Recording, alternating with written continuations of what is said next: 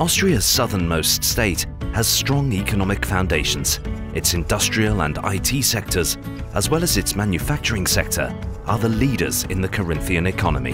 The people here are actively committed to smart specialization by promoting innovation, digitalization and sustainable economic activities. All of this creates a coherent environment for a promising future as a business location and a new home for the society of tomorrow.